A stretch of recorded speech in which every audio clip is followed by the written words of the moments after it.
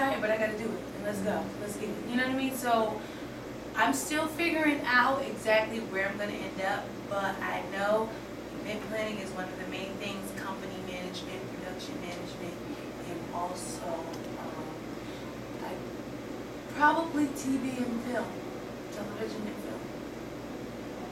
Uh, my first, probably to get in the door, production assistant, somewhere along that, but I know that's not my last stop.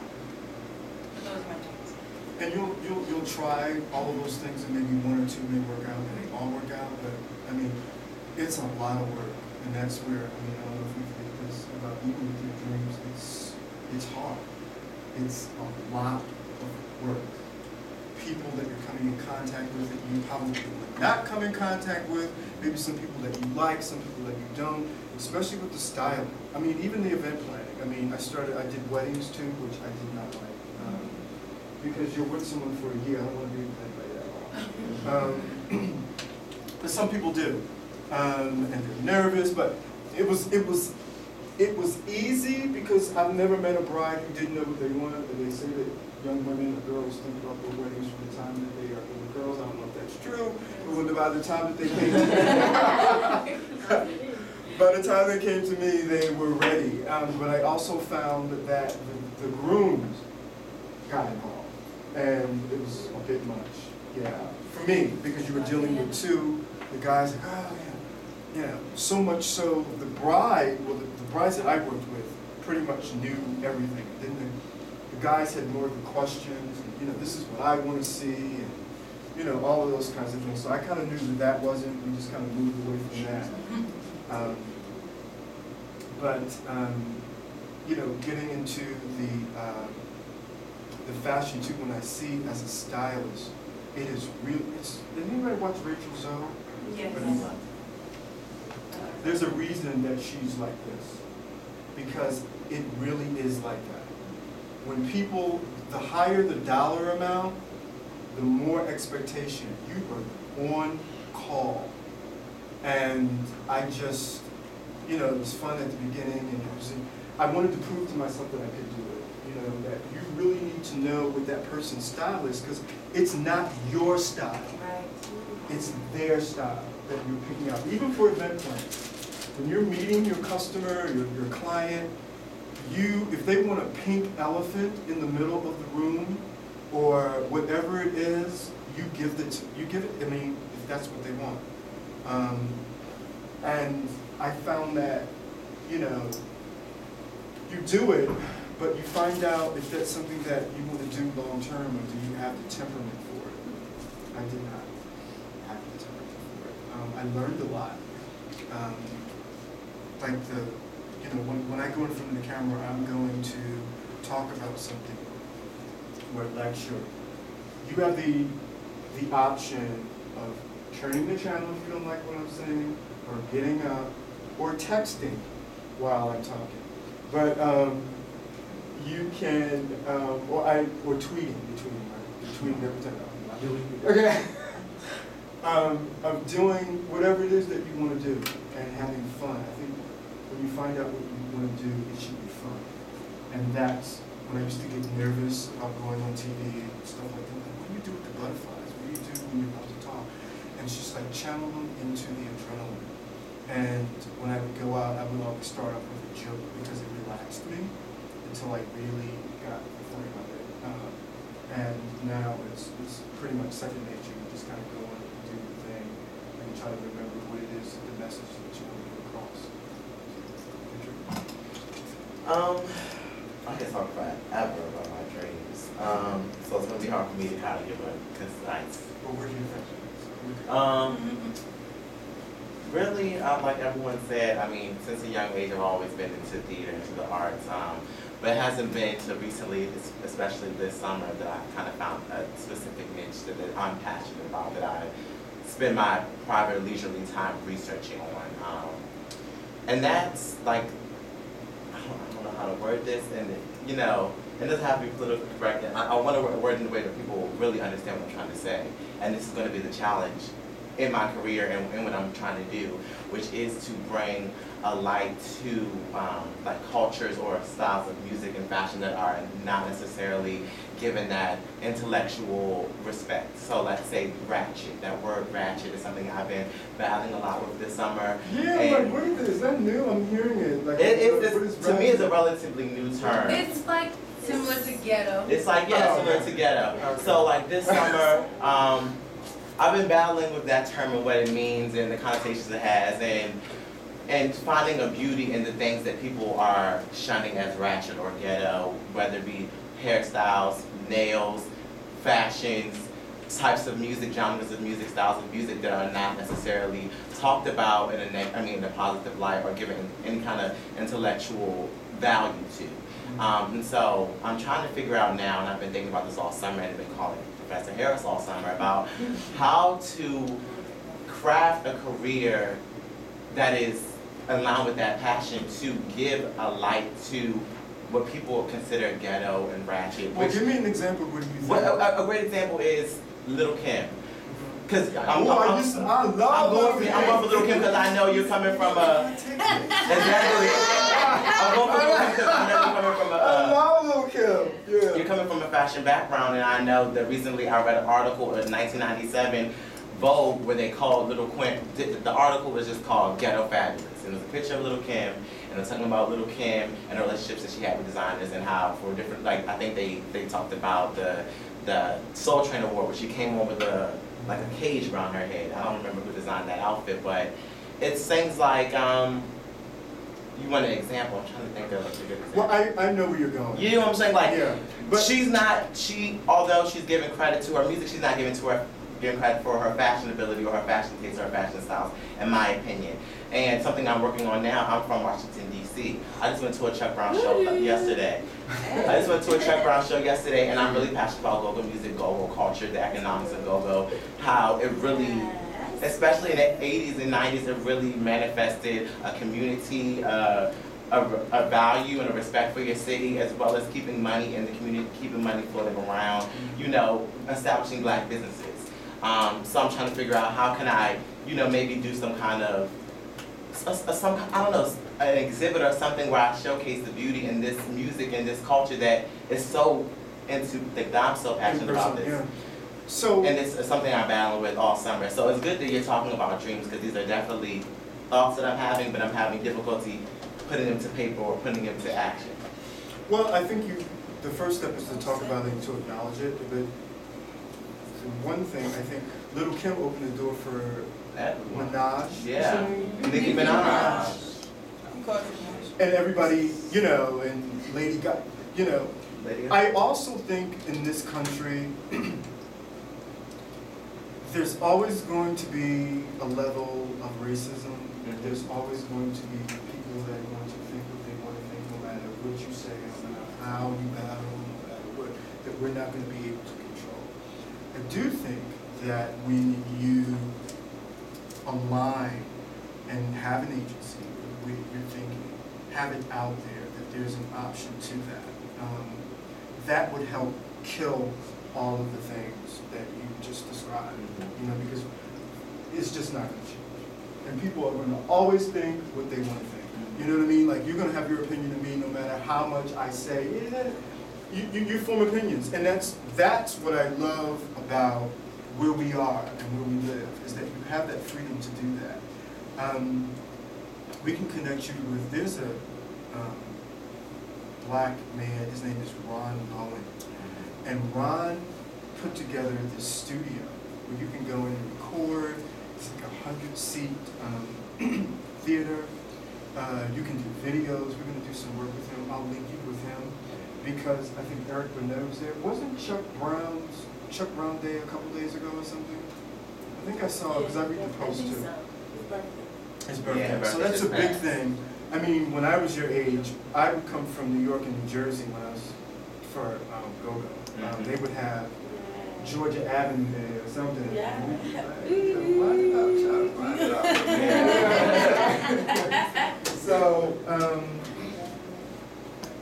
it's good. You're on the right road. You're there about saving something that is a part of us and a part of our culture. And that's why I always talk about the Renaissance, because, you know, of course I wasn't there, but it's a pride that we have, you know, um, about who we are as black men and women. And that you have a responsibility, that's why I'm here, I have a responsibility to freely give to you what was freely given to me. And um, the light is not always shone, shine, which is the correct term, on you guys that are productive. I get so tired of seeing the killings and all of the things that are happening around the world. And for the most part, they're not coming with clean hands. When I say clean hands, that means not smoking weed, not in jail, not robbed somebody, not took somebody's pocketbook, not in school, starting stuff, stealing. That's clean hands. Not saying that it's right to take another person's life, but as a, as a young person, I remember the civil rights movement. I was born in 1962. Medgar Evers was a college student. The three civil rights, they were in college. They were, you know, some men and women were in the Air Force. They, they, they had not been in jail. And I'm not, I'm being departmental with you. I'm not saying that it's wrong to take someone's life. But what I'm saying is the clean hands. Like, I've done stuff. But my parents told me, my father told me, that if I ever got in trouble, his father didn't come to get him, and he wasn't coming to get me. Yeah. So when I got in trouble, he didn't. And I got out of it the best way that I could. And I learned from that day. So I commend you that you have enough thought about yourself aside from what your mom and dad told you. To have that dream and to implement it and to say, you know what? Because it's very easy to get in trouble. It's very easy to hang out. It's very easy to do. I know I was there. I did it. It's hard to stay on the road. It's hard to stay on the journey. Do you know what I mean? And surround yourself with people. I noticed when everybody was talking, nobody was hating. Everybody was, unless you was doing it mentally. But seems, she talking about? um, that there has to be a community of people that see your dream not for them, but for you. Do you know what I mean? So that dialogue, I mean, Sharpton, Oprah, Obama, President Obama, they can't do it all. The police, they cannot do it. There has to be a community of people, myself, and especially coming behind me, of you guys going to your contemporaries and saying, when I go to DC Incarcerated Youth to talk to them, that you are coming with me. That they can take some of these, you have young men, black young men from the ages of 16 to 22 that have committed adult crimes. Some of them are not getting out, some of them are.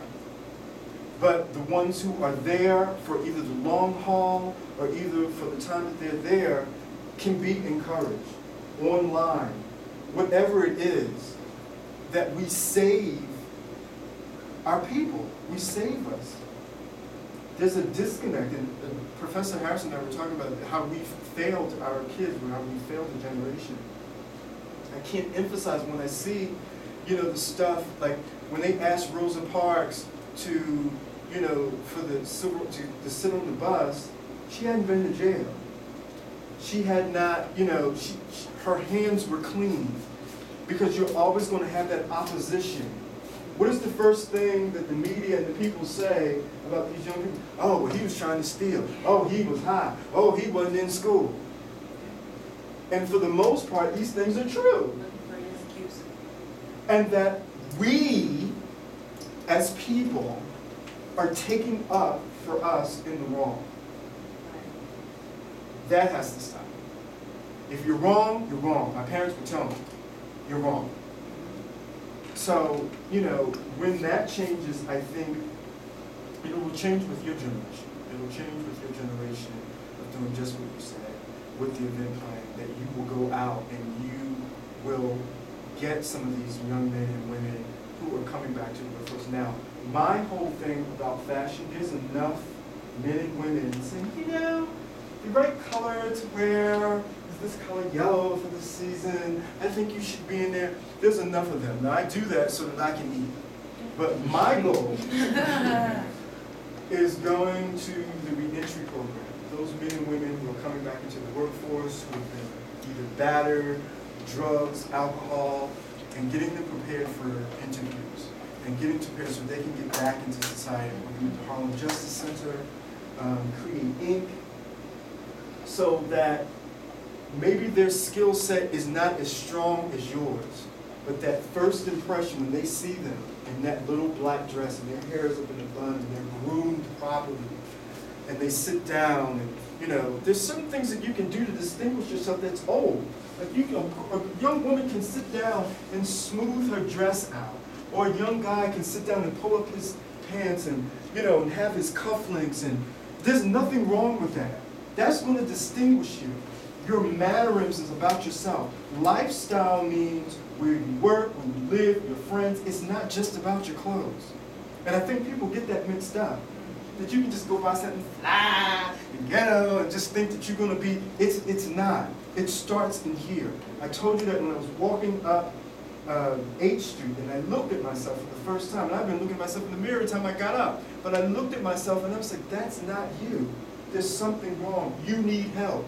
And it doesn't mean that you always have to be on drugs or you're on alcohol. It may be something that's innate in you that you don't like or something that's not that's been discovered. And then you you come in and you, you should everybody should be writing. Everybody should have a journal. I have a journal. I write every day, if not every day, once a week. And you see your dreams, you see where you've changed, you see what you want to do, all of those kinds of things. It's inside. And then once that is, it's an ongoing process, it's the outside, which is skin, hair, your teeth, all of those things. If you have on a $25,000 Dolce Gabbana dress and you all humped over and you have on the wrong bra and your teeth are all broke out, we're not going to see it. We're going to see people see what's wrong first. You see what's wrong. Like, oh, we don't see the dress. But you can have a $25 dress on and walk upright and have on the right undergarments and feel good about yourself and walk in and have a presence. You should have a presence about yourself. Not, you know, oh, I'm bad. A presence meaning there is something about you that is not like you. it's not like you, it's me. Does that make sense? Yes. That it's, it's, it's really about you. Um, I was pretty bad when you guys were talking about dreams. But, um, my name is Taisha Kennedy. Um, I'm from DC, of course. And, um, long story short, I have like two, two things I want to touch on.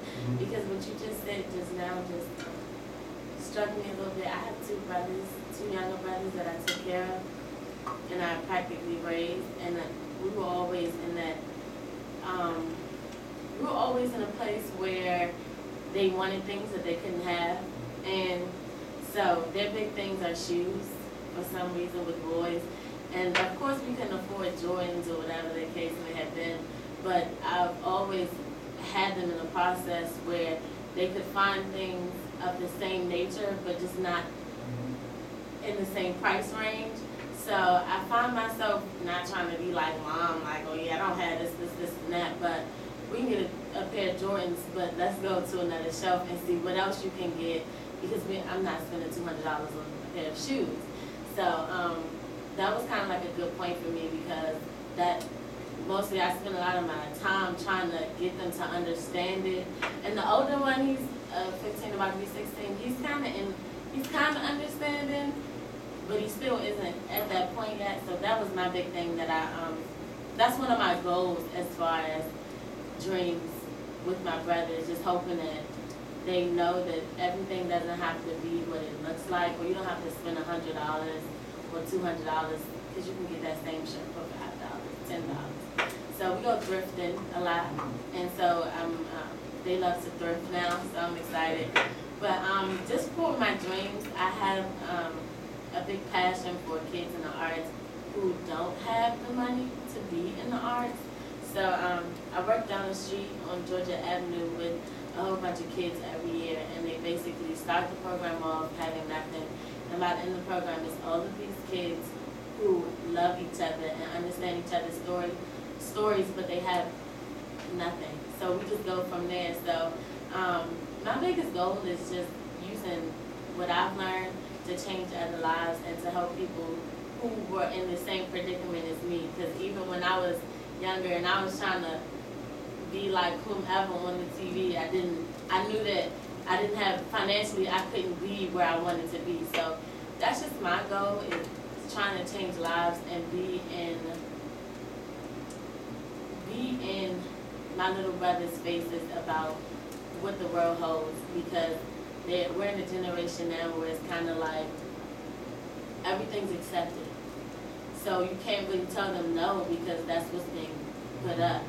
So, yeah.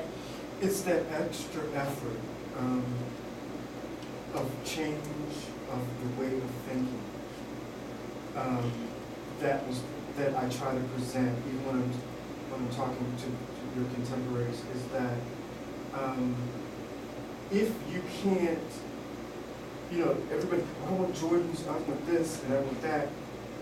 If you can't develop them yourself, or when you're seeing these shows, Beyonce, House of Prince, I'm always thinking business-wise.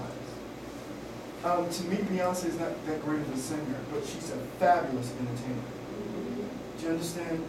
And instead of implementing it, instead of like worshiping these people, I mean, it's okay to enjoy them.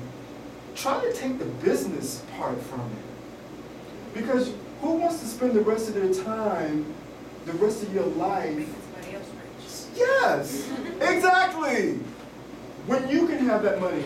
That's why I'm, I'm, I'm, my, my time where I am now is coming to a close. Because we have to sell five thousand dollars a week before we get commission on anything else. Do you know how hard it is to sell five thousand dollars worth of stuff in this economy and in August and January? And I'm in New York at the flagship store, so the people who can afford that price point are not in New York, they're in the Hamptons. So what am I gonna do, take the clothes up there and, I mean, you can't do it. And also too, this is how I think, why am I gonna make you five thousand, I only get three fifty, when I can make five thousand for me and keep the five? Now, some people, that's what they're gonna do. You know, they can hustle, they pull that, that's not me. If you want to bring it to the register, I'll bring it out. you know what I'm saying? I'm like, I'm past that. Oh, this looks great on you. Hey, would you, did you, have you seen this? You can get 2,000 points. I, in my mind, I can be saying, oh, you can go, you know, I can personally shop for you at $85 an hour, minimum four hours. Or I can do an event for you, you can engage me for $1,500, and then hourly is $65. That's for me. That's for George Worrell LLC.